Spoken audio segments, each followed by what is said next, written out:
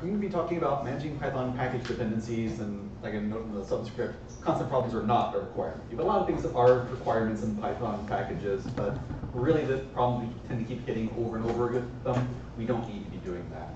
For some context here, how many of you maintain a Python package? Okay, so about like maybe five, seven of you. How many of you use Python packages in a project that isn't itself a Python? Okay, quite a few more there. um, how many of you aren't really even familiar with Python packaging and would like just kind of like an overview of how it works? Don't be shy. Okay, we've got a few of those too. Well, I think I've got all of you covered here. There's, we're going to start with sort of an overview of the kinds of problems you can hit with packaging, and then get into some details of the ecosystem, and then start recommendations on how we can overcome some of the problems that all of you mentioned frequently come up. So a bit about myself. I'm Jeremy Bowman. I work here at edX, just downstairs about in this corner. I'm a principal software engineer here. I work on the tools team. Uh, the tools team, what we do is actually work on things to improve developer productivity. So we manage, maintain our test suite, the infrastructure our tests run on, and other scripts and utilities for helping developers get their job done you know, more effectively. And so I spend a lot of time looking at things like, okay, we've done, we've hit the same problem four times now. How can we not hit that again? What can we automate to make sure we don't waste another half day finding out what that problem was and then realizing, oh, we've done this before, and then applying the fix we already knew how to do. Um, packaging looks on the surface of it pretty simple. Uh, you have a setup.py file which has the metadata about a Python package, and it has in it this little line that says install requires, and you list the packages you depend on. That looks straightforward. It's like, well, I use this and this, done. But there's also a setup.cfg file, and it can also have install requires. Mm, okay, so when do I use that versus a setup.py? Do I use both? Can I use one or the other? Does it matter? And then a lot of packages have this requirements.txt in it, or something like that. Sometimes the requirements directory full of text files. And that also lists like the dependencies, and now there's versions on them, and there's inequalities and equalities. And this first one, okay, a mathematician or an engineer, that looks really odd. Django is greater than or equal to 1.11, which is less than 2.0. Well, I'm guessing that Django is supposed to be in the middle of that. Um, and then why is the Django an inequality, but the PyTZ is pinned to an exact version? Was there a reason for that? Were they just done different times by different people? It's kind of hard to tell at first glance. And then it can get really out of hand. So this is IPython setup.py, and this isn't even all of it. It scrolls off the bottom here. And there's this extra require thing, and there's all these different things in different contexts, and there's install requires, and they have versions. And you scroll down here, my mouse is working for me. Um, there's more it just require things, and somebody's looking at the Python version, it's looking at what platform we're running on, and there's conditionals in here, and what is all of this? So it's not quite as simple as it looked at first glance. Um, but okay, I don't have to worry about that. I'm that's really basic apps. I'll say I have a Django application and I need two things. I have Django and I use social auth app Django to handle logins from various social services like Facebook and Twitter and such. That shouldn't cause any problems. No, I should be done. Oh, right. My service is still using Python 2.7, and the latest version of Django is 2.06, which only works with Python 3. So it blows up if I try to install it. Okay, well, I saw a bunch of inequalities before I can fix that. So just until I finish my port to Python 3, I can put in that, okay, well, Django has to be less than version 2.0 when they drop support for Python 2. Shouldn't be problems with that. Oh, I heard from someone that's, they're not constrained by this issue I have of running on Python 2. They're using uh, the latest version of Django with Python 3, and they'd like to use my app, but I've just made it impossible because they can't install it uh, if you have a newer version of Django installed. And some joker contacted me and said, they're still using Django 1.2. I have no interest whatsoever in supporting that. I don't want to imply that I support that. So I'll clarify this a little more. So in my setup.py, I'm going to restrict them to only using Django versions higher than 1.8, but I'm going to remove the top limit. And okay, here I can kind of see why I need the requirements file. So in, when I'm doing development, I wanna make sure that I'm using one of the Django versions that works for my service. Um, but like, I'm not restricting anybody from using a newer version of Django. That, okay, I think I've solved the problem now. And then a few weeks later, a new version of social app Django comes out that breaks backwards compatibility and my app suddenly, the tests start failing even though I didn't make any code changes. If I'm running my tests on a routine basis or I'm just making an unrelated bug fix, I suddenly have to diagnose why did this thing break and now do I put the fix in the same pull request as the code I was working on? Do I stop and fix that first and then come back to what I was trying to do? I really didn't want to deal with that at the moment. So um, yeah, okay, so fine, I'll restrict the version to be less than that, and in my requirements, I'll just pin all my dependencies to the exact versions I'm using in my service, so that they definitely won't upgrade unexpectedly on me. That'll definitely cover. it. And then social auth core gets a new version. I didn't even depend on social auth core. Wait a minute, it turns out that social auth app Django itself depends on social auth core. High was automatically installing it for me. I didn't even notice it, so I didn't pin it because I forgot it was even there. So fine, I'll do a pip freeze, I'll list all of the dependencies of my application, and I'll put down all the exact versions of everything in the requirements file, and I'll just restrict what I have to in the setup.py, but again, like other people can use whenever they're going to, but for my development, I'm using the exact versions. And then about a year later, if I haven't had to work on this for a while, it hasn't been tested with a recent version of any of its dependencies. So someone who goes off to use it in their new project is like, hey, your project just doesn't work, it's broken, nothing functions. I did a fresh install and it's completely busted. It's because you haven't been testing with any of these newer releases of things, which anybody starting a new project using the app is likely going to have. Uh, it can be a lot easier than this. And it doesn't, you don't have to hit all these problems. There are actually tools that help you work around this. There are practices that, you know, you can avoid this. The unfortunate thing is in the Python ecosystem, it doesn't really, it's not really explained upfront that you have to do this. Uh, you get random pieces of information about like, these different components that we'll cover in a bit. I'm sorry, I'm confused on one point. If you use pip freeze to pin all the dependencies to specific versions, Yep. why would a year later anything have changed? Because, well, that's the thing, for your tests, nothing has changed. The tests still pass. But someone using your application in their own project, even though if they download the application and run its tests, the tests will pass. If they use it in their project, which got the newer versions of these dependencies, it's not going to work. Because it's made backwards compatibility breaking changes in one or more of these packages. So I'm gonna take some time to go over and explain the different pieces of the dependencies puzzle in Python. So especially for those of you who are like a little newer to this and maybe missed some pieces I was just mentioning now, I'm gonna talk a little bit about what these different things are, a little bit of the background on why they exist and how they fit together.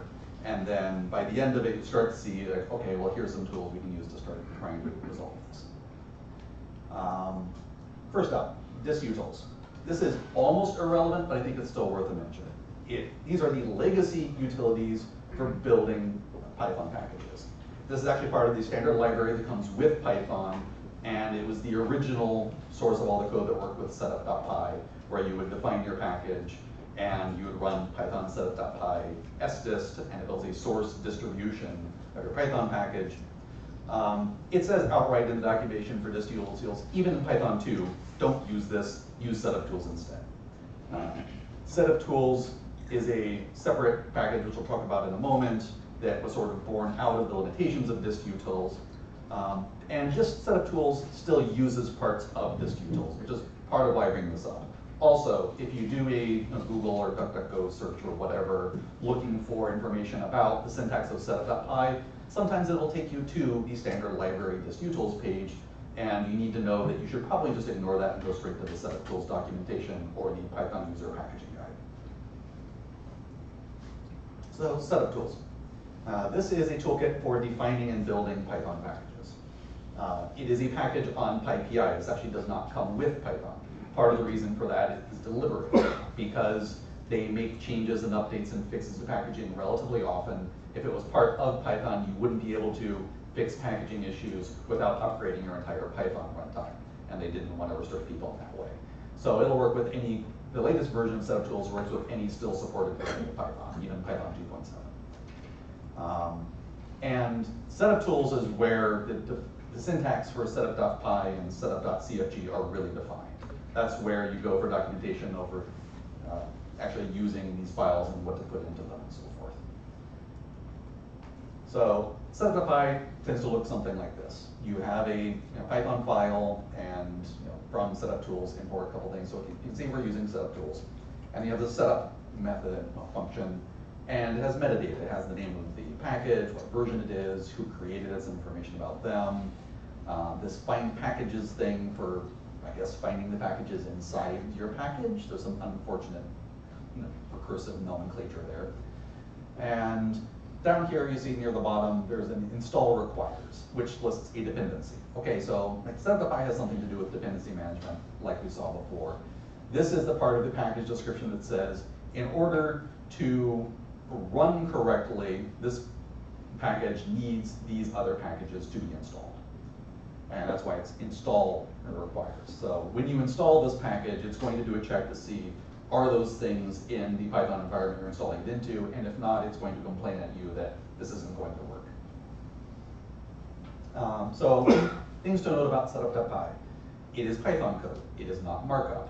If you want to do some tooling to like, look through a set of packages and get some information about them, say their author or what version of Python they support or whatever, you can't really get it without either running it, which usually builds a package or does something else odd, or like doing some fancy things with uh, grep and regular expressions trying to pluck out the bits you want, which is a little inconvenient. Um, it contains some information you need to change pretty often. Notice it has a version number in there. So every time you release a new version of your package, unless you take some extra steps, you're going to have to go in and change this file. Anytime your dependencies change, uh, your, you drop support for another version, you're going to have to go in there and change it. So setup.py in a typical project gets updated a lot. And also, because it is Python code, it tempts you into trying to do clever things. Um, when you go in and you hit a packaging problem, one of the first things people, things people think of is, oh, well, it's just Python code. I can put a condition in that if I'm on this operating system, then do this. And you end up with monstrosities like the IPython setup.py I showed you earlier. So there's an alternative. This is something that uh, the setup.cfg file has existed for a while. It served other purposes before, which I'm not going to get into right now. But the main point in, I want to make in this context is it's an alternative since late December of 2016, I think the release was, uh, to using setup.py for putting in all the metadata about a package. You can put it in this INI format text file instead of using the Python syntax.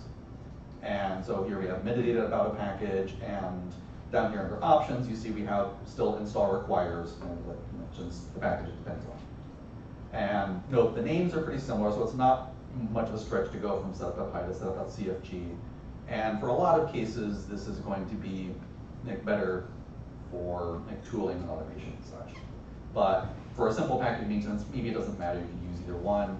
But just know that this is a newer development and there are reasons to switch to it. Um, there are also, notice here, for the version number, it didn't specify the version number. It has this little file indicator, and it gives a path to a file to fetch the version number from.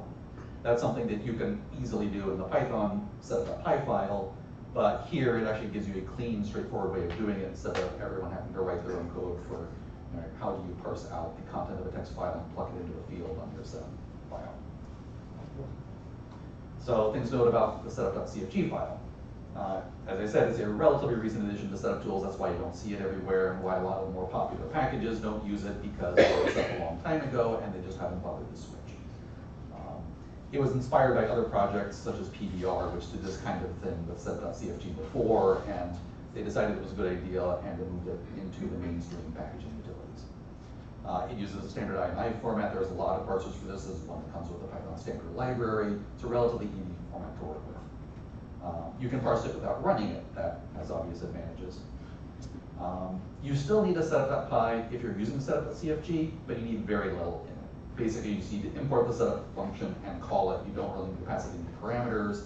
Setup tools will know to go and find it in this file instead. And as I said, has utilities for loading, uh, loading content from a file, from an attribute of, so for example, you say your version number in your uh, module init uh, file, you can just plug it out from there. Um, It's not code, so it can't handle some corner cases. If you find yourself needing some really complicated things about knowing what system it's building on and so forth, you might still have to resort to a set of dot but you can use a combination of the two. I'd be careful about though, that, though, because then you're gonna confuse yourself, thinking you're looking at the entire configuration, and after you have a whole other world of it file. So generally try to stick to one or the other. So there are all these diff, I mentioned set install requires before, but there are all these different parameters you pass into either setup.py or setup.cfg. There's setup requires, dependencies that you need before you can even build your package, let alone install it. If your setup.py script uses and imports some code that has to be in the vir- your virtual environment, you need to list it here. Generally, it's not a good idea to do that, but it's there in case you need. Install requires, already talked about, that's what you need for your package to work. Tests require, any additional dependencies you need to run the tests for your package. This was primarily designed for Python setup.py test, which in the olden days was the primary way people ran tests for the packages. This is not so popular anymore, partially because it puts you a lot of limitations on you and you have to go through the setup tools framework. I wouldn't worry about this too much, but you will see it on a lot of packages because in the old days, this is how you ran your tests. And extras require has additional requirements for optional features. So if you have something that doesn't have Django as a core requirement, but if you use Django, then it has additional functionality. You can actually tell, when you say when you're installing the package, give me this package with this optional set of features, and it will make sure that you have the packages you need for that. Again, not something that most packages need that often, but it's there for corner cases. And just to make things confusing, there is Python requires, which isn't a list of package dependencies at all. It is a text string which specifies what Python versions are supported by this particular package, and specifically in order to build the package. Uh, Just to be confusing. Environment markers. This is something that even a lot of senior Python people I've talked to aren't that familiar with because it's a relatively recent addition to the Python packaging ecosystem. I think this has been around for maybe two or three years now. So these constrain when a dependency is required. So you can say, I have this package that I need to install if I am on Python 2, but if I'm Python 3, there's something in the standard library that's equivalent, so I don't need it. Or I have this, I'm on, when I'm on Mac, I need this package to be installed in order to get read line capability equivalent to what Linux has by default, but it won't you know, work if I install it on Linux, and things like this. So in your setup.py requirements or in setup.cfg, you can put in this colon after the dependency, and then there's a set of things you can put in to specify that you have some additional constraints on when that package is actually needed. I'm not going to go into the detail of syntax for this, it's a talk all in of itself, but know it exists, there are PEPs for it, there is minimal documentation in setup tools and some documentation in pip about it. They both do fully support it though in recent versions. Uh, if you have a really old version of setup tools or pip, you may need to upgrade it to take advantage of this or to use packages that do take advantage of it. And so this other thing, pip, I've been talking about for a while now. This is a utility for installing and uninstalling Python packages. Uh, it is also a package on PyPI. It does not come with Python, although recent versions of Python 3 at least come with a utility that allow you to easily get it because it's pretty much assumed now for any non-trivial Python project that you're going to need pip in order to install packages because although setup tools has functionality for doing that, it's a terrible idea to use it. They don't recommend doing that anymore. For one thing, it makes uninstalling things very difficult, whereas pip, it's easy to get a list of what you've installed and you can remove it. It just works. Uh, you can install an individual package, like pip install Django, or you can install all of the dependencies in the file, pip install dash r requirements.txt. Now that requirements text file we saw earlier is making some sense. You have a list of your dependencies that pip is using, and it's completely separate from what setup tools is looking at. Setup tools does not care about your requirements, you know, file. When you install the package from PyPI, the requirements files, unless you do something clever with your setup.py file, are going to be completely ignored. Um, but this is powerful for a lot of cases when you're using your package and when you're running tests, and we'll see how this comes into play in just a minute. So a requirements file is plain text, but it has a specified format. You can't just put anything you want there or treat it like an essay. You, it has a particular comment syntax. You have to format your dependencies in a particular way. Um, the order of the dependencies in the file is unimportant except for the reader. It's often nice to alphabetize it just so you can find things you can put in it, but it does not install them in the order they're listed in the file. pip is clever and sees that when you've installed listed things which are dependencies of each other, it installs the things first that need to be installed in order to get the things that are the higher level. Um, but it is a text file. That means it can be generated. You can write text files, but also these are very easy to generate by scripts, which has led to some interesting tooling. So there's this package called piptools. And this can basically take a input requirements file, like the one above, say this is the, the requirements for running a test suite in Travis CI for continuous integration. And you say, okay, well, I want CodeCov for reporting my code coverage to a third-party service. I want Tox, which is a utility for managing multiple virtual environments and run or run my pack, test my package against different versions of Python or different versions of Django. And then Tox battery, which is basically filling in a gap in the Tox functionality, which lets it know when the requirements file has changed that it actually needs to update the requirements.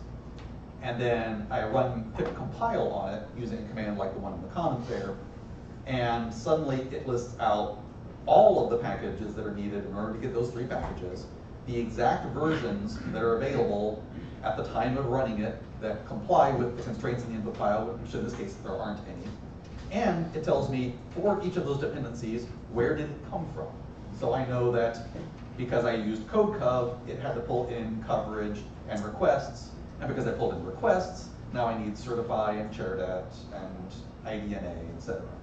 So this is kind of nice because that problem we had back before where we needed to pin everything to exact versions to make sure our tests ran consistently, but then it was a pain to keep it up to date. We had to look when there was a new version, as a rule, we just didn't bother. Now we can have our hand-edited requirements file, which just says, these are the things I need, and then generate this other file that says, these are the things I want installed when I run my tests. And we can actually do this, set something up to make this easy to do and more off, run it more often. And we can now isolate the changes between when I'm deliberately making a change, I just want the test to work the way it did before, and I'm upgrading some stuff, I want to see if that breaks any of the tests. Uh, there are two different packages in pip tools. There's pip compile and pipsync. So pip compile, I've already mentioned before, it generates a comprehensive, fully detailed requirements file from a higher level requirements file. And pipsync will install everything that's in a requirements file and actually uninstall anything that's not in. This is what makes it different from just running pip. So if you've been doing a lot of development and you had a bunch of stuff installed, and then you tinker around with it a bit, and then you finally finish and put it up, and then it breaks in CI or when someone else installs it, you may have installed something along the way that was still in your environment that wasn't there in the CI or your fellow developer's environment. This will actually fix that because it'll make sure to remove anything that you didn't explicitly say you're still using. That acts on the current environment that you're in. Yeah, so pipsync is a tool just for, Prunes the craft. right. Okay. It just makes sure that your current environment where you're running it matches the requirements file or files that you gave it and strip out anything that's not listed there. Um, there is an alternative to uh, the pip tools. Uh, pipenv is actually getting pretty popular recently. Um, it is kind of a combination of pip compile and virtualenv. It both compiles high-level dependencies into more detailed dependencies and manages your Python virtual environments and tries to make it easy to set up a new project and build your first virtualenv and so forth. Um, it doesn't use requirements files. It has what's called a pip file and uh, pipfile.lock. And this is something that was a project that was around before pipenv, but still isn't finalized. There, there's a lot of sen sentiment that using just text files for requirements is a little misleading because it looks like you can change all things that actually break the syntax, or it's not clear how it should be formatted. So they tried coming up with a separate uh, file format for this, and that's what pipenv uses. Um, so you have your high level requirements in pip file, like the pip compile input file, and then pip file.lock is the generated fully detailed requirements. Uh, it is a very active project. There's been a lot of discussion about this. Think it's PyCon. A lot of people are using it now. Versions of the Python packaging guide actually recommend this as the default choice for managing dependencies.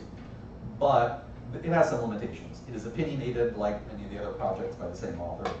And one of these opinions is that you can only have two sets of dependencies. You have the normal dependencies for the package, as in like what the Py would have, and you have the dependencies you actually use for development. And that's it. And I work on a lot of projects where we kind of want more than that. There's dependencies you install for building documentation, for running your tests, like the one I showed where in like Travis, you just want enough to run Tox, and then inside Tox, you're going to have other dependencies. Um, this will work for a lot of packages, especially ones just getting started, but just be aware that it does have some limitations. And because it's a newer project than pip tools, there are still some bugs in handling certain kinds of input requirements and then generating the lock file.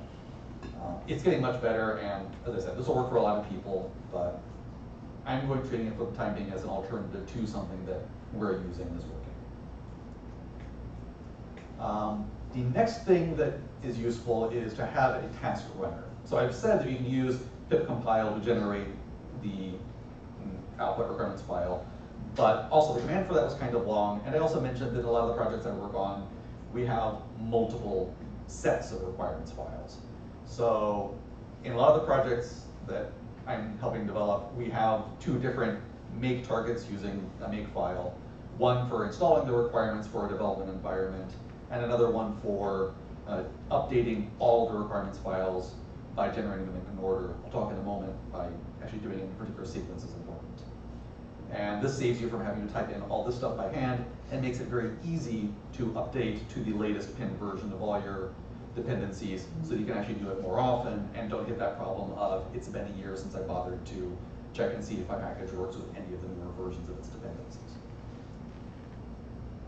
And so when using pip tools and a you know, target this, a, uh, any kind of task running target this way, you need to identify which context you actually need to install dependencies in. So some ones I mentioned, just the core dependencies of the package, dependencies for running tests, dependencies for building documentation. If you use Sphinx and upload them to read the docs, that's going to require some packages you probably don't normally need any other time.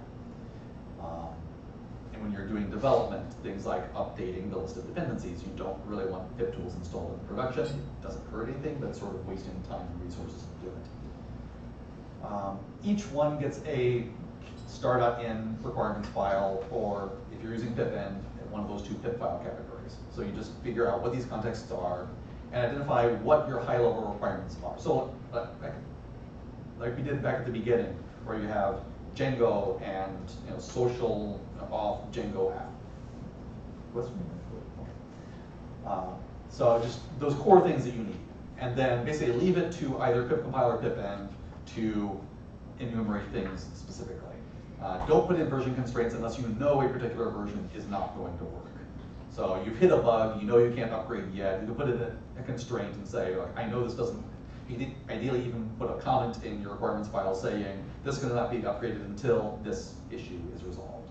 And that makes it clear why these things are limited instead of scratching your head. It's like, why are we using that particular version? And don't list the indirectory dependencies now because, as I said, the other tools do that for you. And ideally use only a single requirements file per context. We've hit issues before where for running tests, it's like, okay, well, tests is the base dependency plus the test dependencies plus this other set of dependencies, and you just run the requirements files one after the other. But then the problem you sometimes have is, well, this requirements file installed this version of a package, and the next one says, well, actually, for the things I'm installing, the version constraints you gave me, that one doesn't work, so I'm going to uninstall that one, install a different one, and it's a little hard to tell, because you say, well, in this requirements file, I said to use that version of that package, but that's not what I actually have in my environment. How did that happen? It's because one of your later files, pip had to make a decision to override the earlier one, install something different instead to make things work. Uh, it's much easier if you just have a single requirements file that's like, in this context, these are the version, exact versions of everything I'm going to install.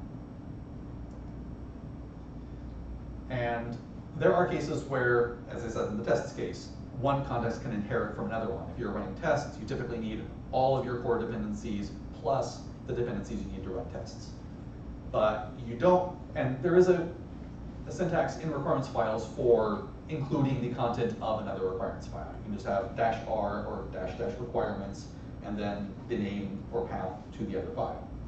But you don't want to include the .in files because, again, as I said about you know, getting clever and changing versions on you, you could end up with one set of requirements that you use in production, but then due to limits on the testing packages you use, you actually end up installing slightly different versions to test. So your tests aren't accurately reflecting your actual production dependencies that are getting deployed.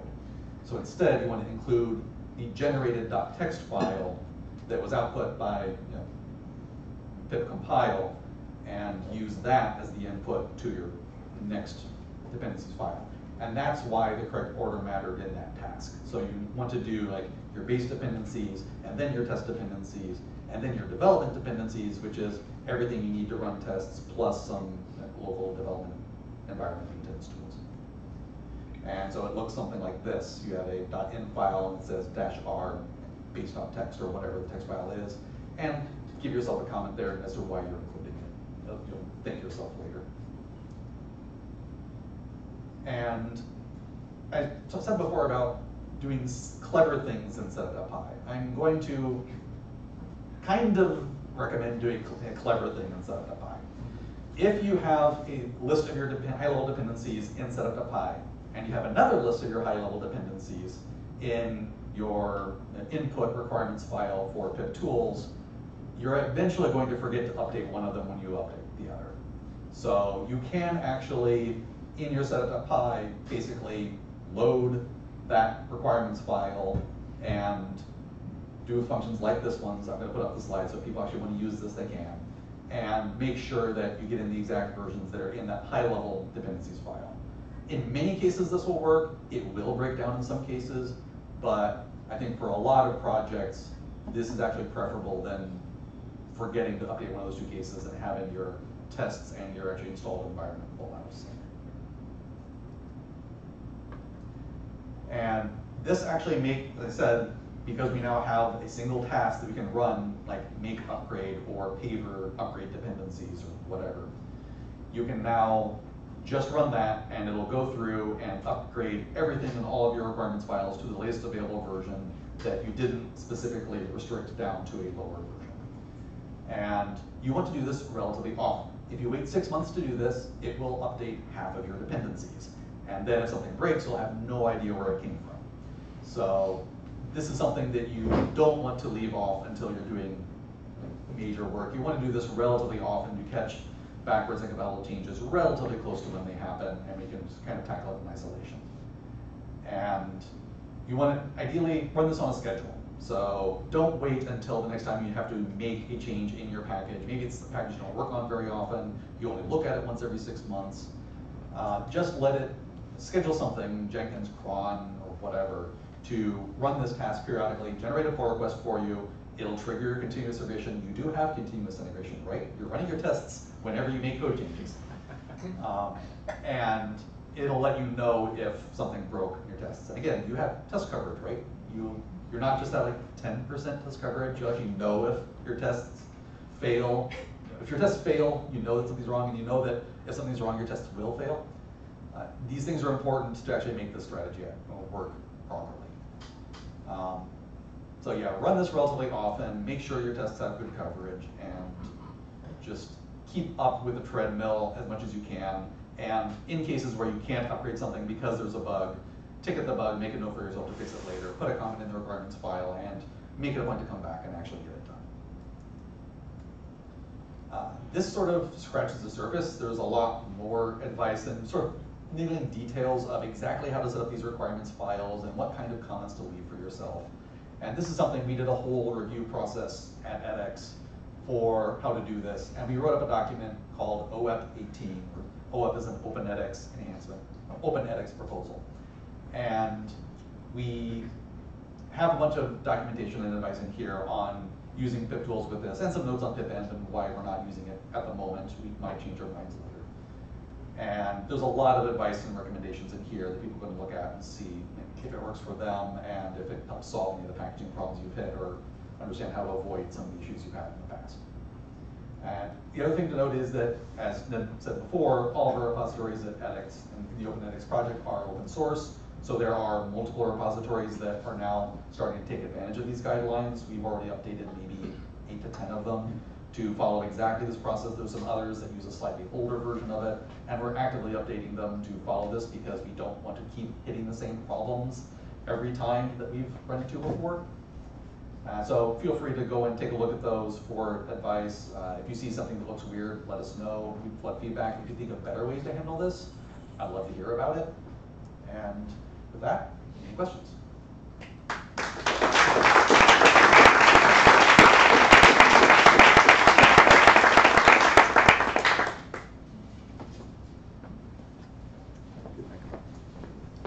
So, um, we recently started to use tox, and how does this strategy work with tox where you have some, maybe a couple, like two, three packages that you want to vary in your tox environments, and the rest that you want to be stable? Yep. And let's see, did I have that in here? If you notice here at the end of this, I sort of glossed over this slide, but at the end of this complex task for updating all the dependencies, there's a bit down here that says, let tox control the Django version for tests.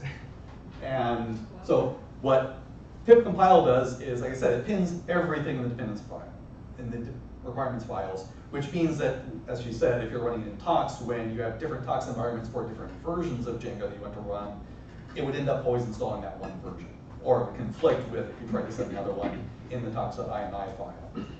So what we do instead is, just for the testing dependencies file, we just have some commands here to go in and find the Django dependency and rip it out, and then just you know, use that as a new testing file, so that when you run tox, it installs, it, it has everything specified except Django, which is then specified in the tox.ini file, so the two complement each other nicely, and you don't end up installing one version, uninstalling it, and just, you get the exact version of Django you want to test with. And it, it's not just Django, you can also do this if you're trying to, for example, upgrade from Celery 3 to Celery 4, you want to make sure that your app works with both versions.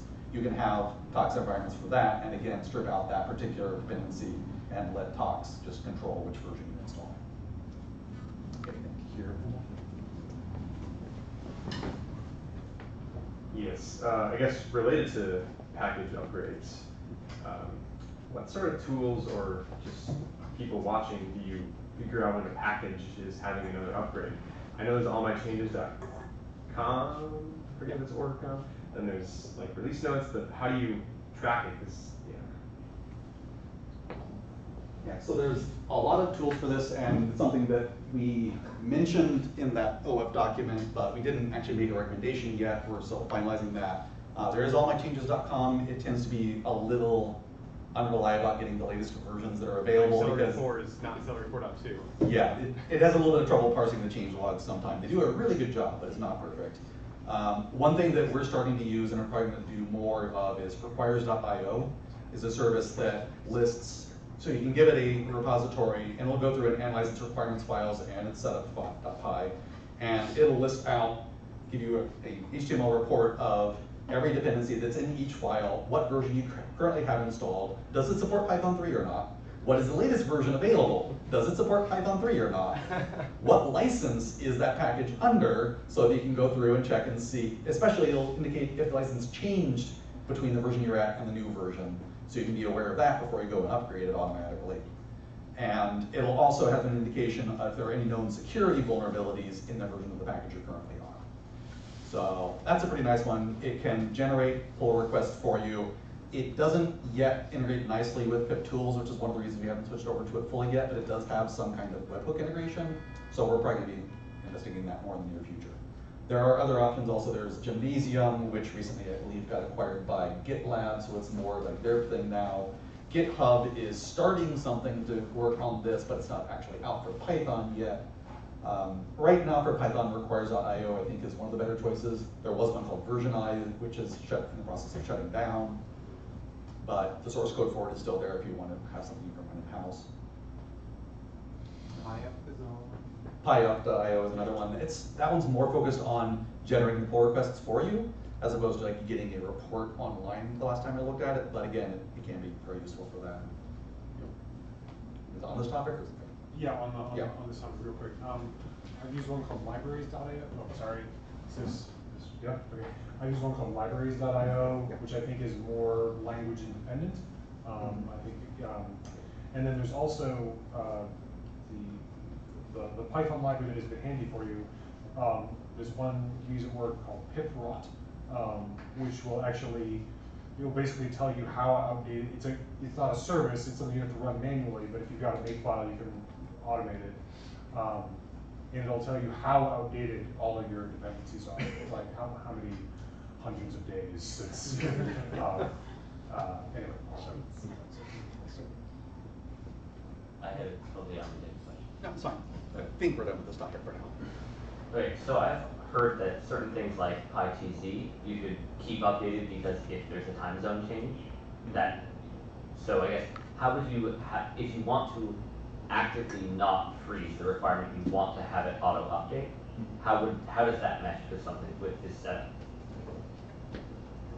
Then you can effectively repurpose this same uh, technique here. You can just delete that dependency from in there, or you can just basically strip out that line and replace it with just the generic PyTZ entry. Uh, so there are things that just using pip compile like doesn't do ideally. There's still some bugs in it you kind of sometimes have to work around. We have in some of our repositories a script for post-processing the requirements file generated by pip compile in order to handle for little corner cases like that. Uh, in general, I think you're better off just like having your regular schedule for like doing the updates and you'll notice when a new version of PyTZ is available. But yeah, you really want to make sure that just that's always the absolute latest version, whether or not you update the latest, like you can do a workaround for that.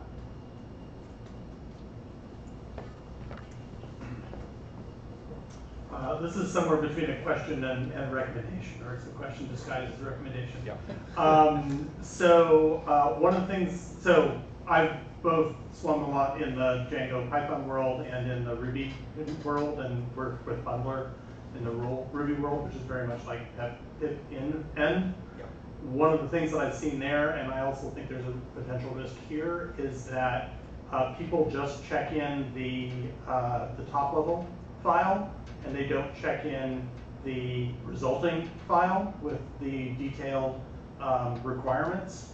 And the problem you run into with that is that if you try to um, get back to a previous release, um, you're not getting the same release that you just had um, because it'll get upgraded.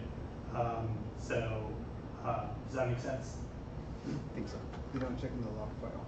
Yeah, they don't check in the lock file, essentially. Well, at least the way that the uh, pip tools work, if you don't check in basically the output file, the lock file, it doesn't upgrade it at all. You're not even running that version. Uh, the whole process tooling we have around only looks at the output requirements files. So in that case, basically what you've done is you failed to upgrade the package at all, even for your tests. Just nothing is going to look at that file. So it tends to get caught fairly quickly because you go to make the change, it's like, wait a minute, that didn't fix my problem. Why? Oh, I forgot to regenerate the output I think that's also something, because of that, I think it's something that people tend to catch relatively early on. And yeah, sometimes they forget, but then the next time, they, they start to remember. Uh, we could probably come up with some better tooling and ways to remind people of that. But in practice, we haven't hit that being an issue yet, other than, oh crap, I forgot to generate the files. I think the problem with things like pipenv, the bundler, is more of like, they, if you have something in the input file, it'll like automatically rebuild the lock or something. Or is it just looking at? The, yeah, I mean, basically the, the, the, the- sort of the orientation. Um, the, the thing that's a little bit weird about this process is basically you're creating a file that is a build product. Yep. And a lot of people have in the mindset that they should only check in the files that are Hmm. human generated and not the build products. Right. Um, and so if you have that mindset, you need to let go of that mindset and realize that it's important to check in this automatically generated file. So, because you can you can set up your build environment so that it will generate that file um, as part of the process of doing a deploy or something like that, and you will end up hating yourself uh, if you do that. So. Fair enough. I did really short, I just. That, so that'd be cool. Okay, um, this is very simple, um, are there, just as my coworker, uh, just said PyTZ is a particular example of thing you want to keep up to date, are there any other things you can throw out that are like, oh, there's this package that you actually could keep up to date, that you can, magical thing you know? Oh,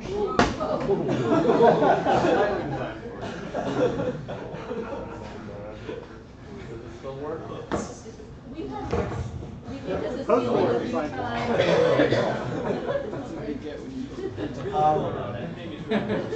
The one, well, I will say the one interesting case here is, as I mentioned before, setup tools and pip are Python packages that you install from PyPI. And pip tools actually won't pin them.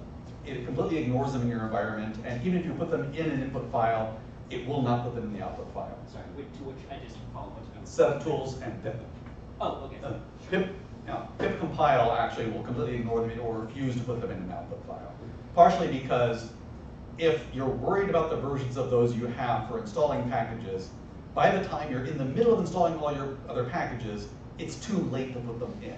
If you need those versions to install your stuff, you're already using the wrong version by the time you are running pip to install everything in your requirements file.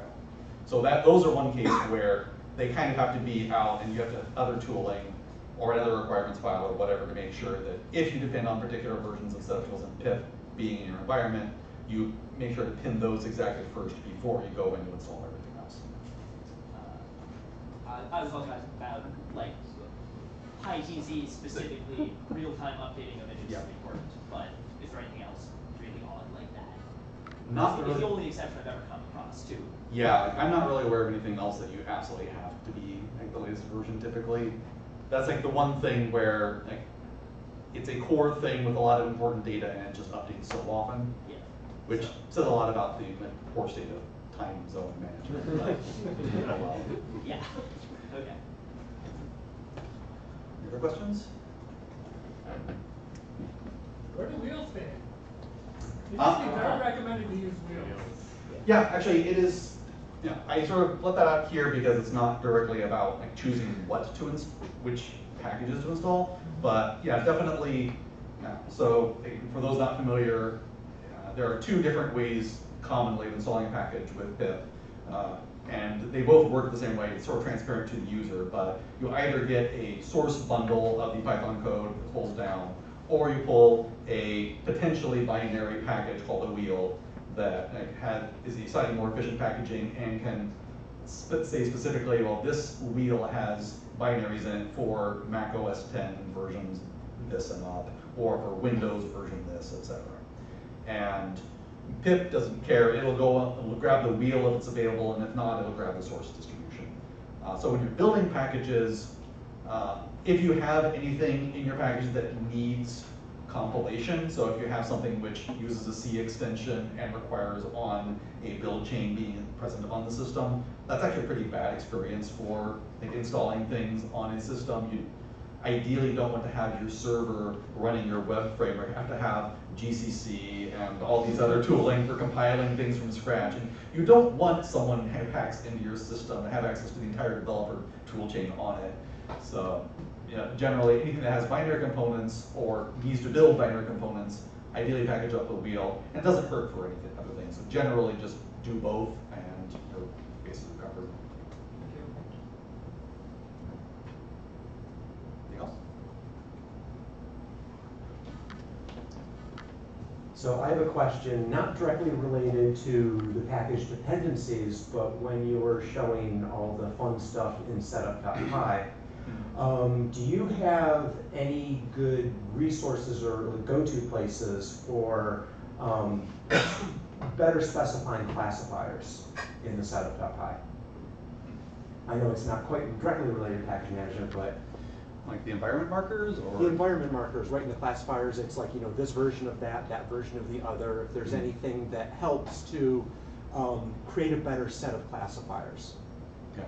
Um, the environment markers are something that have really only started getting used recently, and generally the advice is you don't need to put it in unless you actually need it. So it tends to be, well, as an example, Uh, we've had some cases where we've installed a package and um, pip compile will go ahead and generate an output file that says, okay, well, you, this thing says it needs that version, so I'm sticking it in there.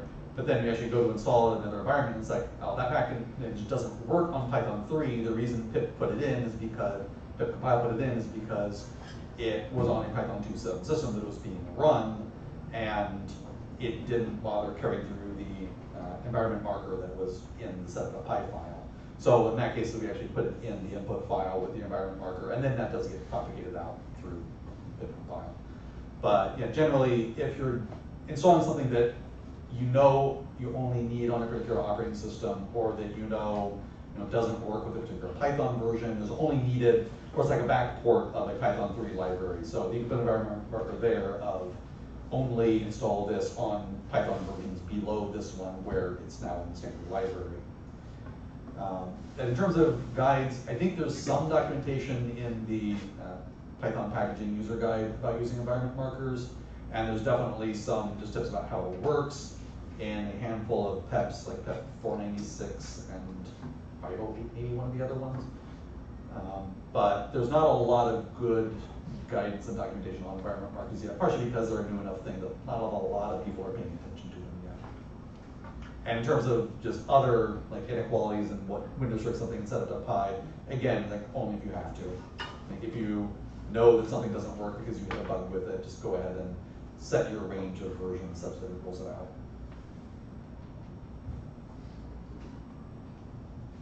Anyone else?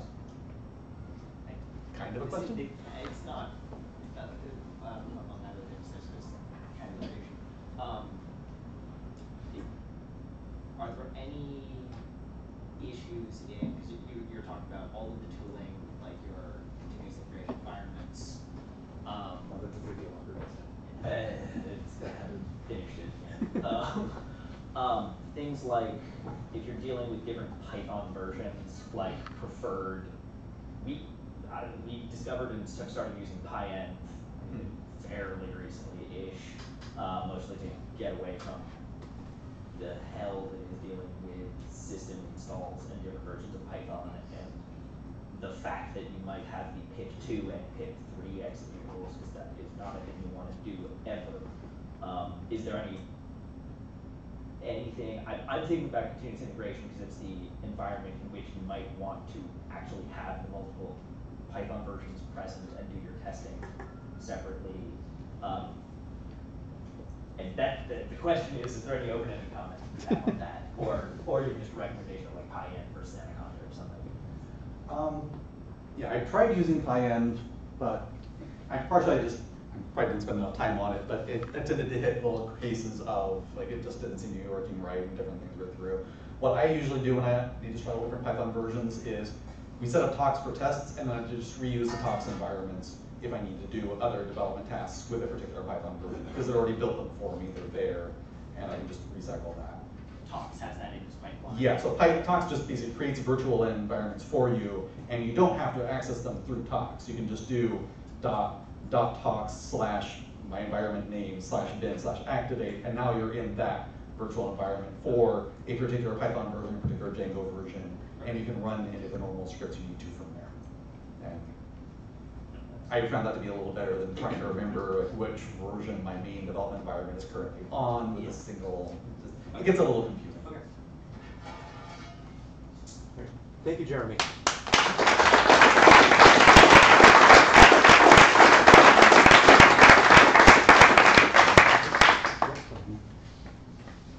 So we will take uh, five minutes and have, uh, let uh, Aaron get uh, set up. So if anyone needs to go use like facilities, down the hall, to the left. So does the fridge. So is the bridge. Oh,